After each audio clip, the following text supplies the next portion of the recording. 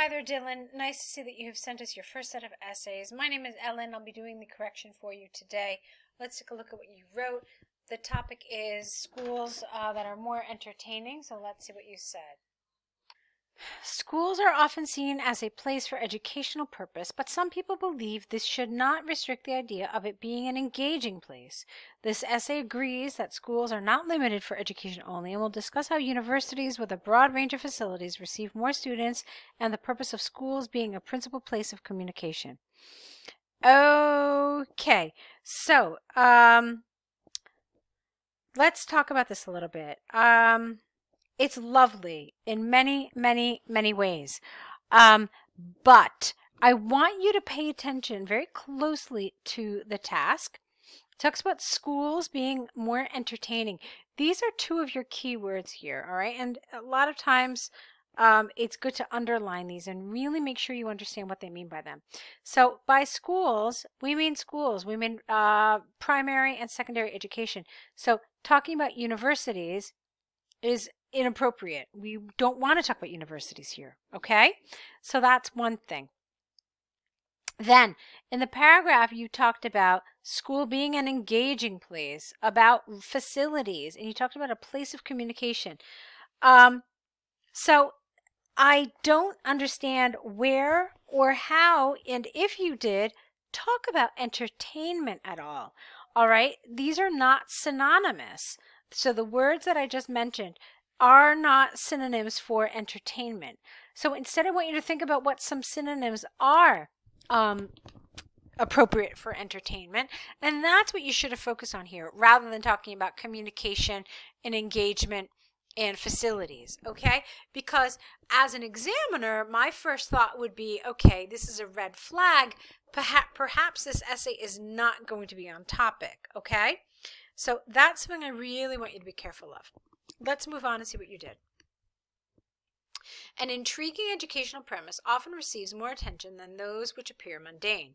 This is because many students often look for recreational facilities as their secondary objective when choosing a school. For example, a survey by World Education Council in 2019 has shown that, uh, not has shown, but showed that the majority of international school students chose their universities with libraries, gym, or swimming pools. What happened here?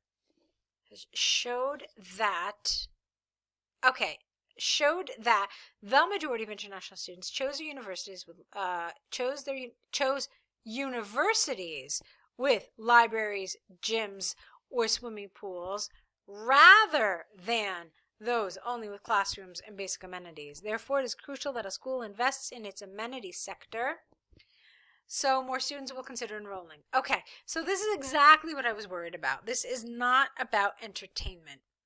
Okay, and it's also not about school. Here you are focusing on it on on university, and I feel like this is a misreading of the task. So this is something that would certainly cost you in terms of task achievement. So um, as you continue in the course, this is something I'm going to ask you to focus on a lot. Really making sure that you understand what they're asking you and focusing just on that and nothing else. So let's move into the next paragraph. A school is also a place where people develop friendships with an S and connections which may prove vital in their futures.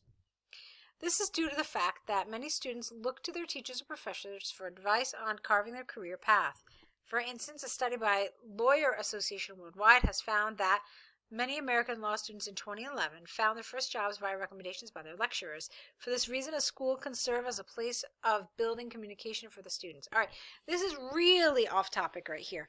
Um, now, remember what the essay asked you to talk about. It had two viewpoints. Schools must be more entertaining, and then schools must just educate. Those were the two viewpoints, and they asked you which you agree with. So, um, what you did here is basically you said neither, but that wasn't one of your options. I mean, you're now talking about communication and connections and so forth and so forth. So, I again feel like this is off topic and it's like a misunderstanding of of the task. Okay? So, um, you were supposed to analyze which one you agreed with and um, support that. that viewpoint. Um, could you have talked about the opposite point of view that you didn't support? Yeah, you could have, and you could have talked about all the reasons why you don't support it. But this was really um, not what the focus was supposed to be. Um, I already established in the previous paragraph that you misinterpreted schools to mean uh, universities.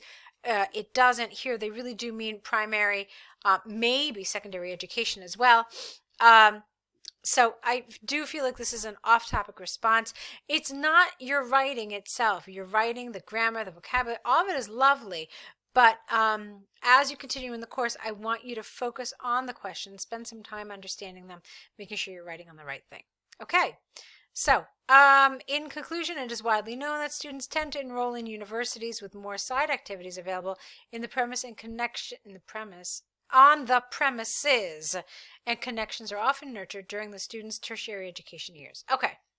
Um, so I think we've established what the problems are with this essay.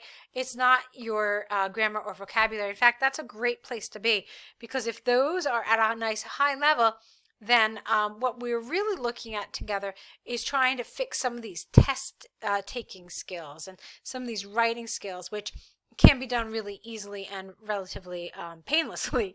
So um, that's actually a good place to be at. So let's take a look at the enjoyable activity with a child. Reading plays a pivotal role in children's education, but the children should be involved in engaging activities in order to build a wider range of skills. This, yes, essay will discuss that how game consoles and physical activity, no, this essay will discuss how game consoles and physical activities assist in the positive growth of children with reasons and examples. Game consoles can be beneficial to children because playing console games can develop skills not achievable by just reading. This is due to the games prompting and training the children to use their active skills such as spatial awareness and cognitive skills. For instance, a recent study by Sunny University in 2018 has shown, uh, showed actually, showed that children who engage more uh, engage more? Mm, how about who play more on or who are involved? Mm, you can't say you engage more or you're involved in game consoles. So how about they just play more on game consoles such as Nintendo Switch, have faster response time than their counterparts. Therefore, playing computer game console no playing game consoles gives a clear advantage and provides a window for children to learn in areas not obtainable by just reading. All right, I would have liked that if it wasn't so similar to this. Achievable by just reading, obtainable by just reading. Uh, you are supposed to write a sentence that relates back to this. Make sure that lexically and grammatically they're different enough to not feel like you're just copying it, okay? All right, so secondly, prolonged reading cannot be encouraged because reading is a form of receptive skill by doing sports activities. Now here I wanted contrast. Uh, so something like in contrast, doing sport activities, the child receives the children receive a chance to develop physical skills. For example, a recent sport console game called Ring Fit Adventure was introduced to help people exercise in their homes while also learning about the human body. For this reason, the child is educated on human anatomy without the the, such as medical terms for human muscle, and has acquired physical abilities. Okay. In conclusion, reading alone is not sufficient enough to attain or enhance skills outside its area, and children should undertake more sports activities in order to further expand their knowledge capacity and train their physical capabilities. All right, that's lovely. All right, so this is nice. Um, a lot of good things, a lot of good vocabulary, a lot of good grammar. Uh, there is one issue. Again, it goes back to task achievement and looking at the question a little more carefully. You were supposed to talk about an enjoyable activity, with a child and better skills, okay, compared to reading, but not just better skills. Look at this creativity. You were also supposed to talk about creativity here and what enjoyable activity can develop uh, creativity better than reading can. So you spent a paragraph talking about game consoles, a paragraph talking about sports, but there was nothing about creativity. And I'm going to go as far as saying that I thought you should have had a paragraph alone just on creativity because look, they separated it here. So they wanted to talk about better skills. They didn't just throw creativity as one of the skills, but they actually separated it, which shows us that they want us to talk about it. You see, these ands in IELTS are super important. When you see an and, that means they want you to talk about both things. When you see an or, eh, you could go either way. But with an and, you absolutely have to cover both sides of that and. So you need to talk about creativity here, okay? Um, one thing that you did that I really liked is that you carried this idea of reading throughout your essay. You talked about it obviously here, you mentioned it here, you mentioned it here, and then you mentioned again your conclusion. And that was really good because then we never lost sight of the fact that we were comparing these other activities to reading. I thought you did that really successfully, so that was really good. All right, so let's talk about what your next steps need to be. The first one is to correct these essays based on the suggestions in this video. All right, and then send those back to me. Along with your corrected essays, you need to send us an error correction list. Your mistakes, and the next each mistake, what the correct version is. That's a list you'll add to with every essay you get back from us. And then the third thing you need to do, of course, is write a new set of essays. So try to do this within the next day or so so you can keep up your momentum and all the progress you're making. Um, and we'll meet back here with that next set of essays, okay?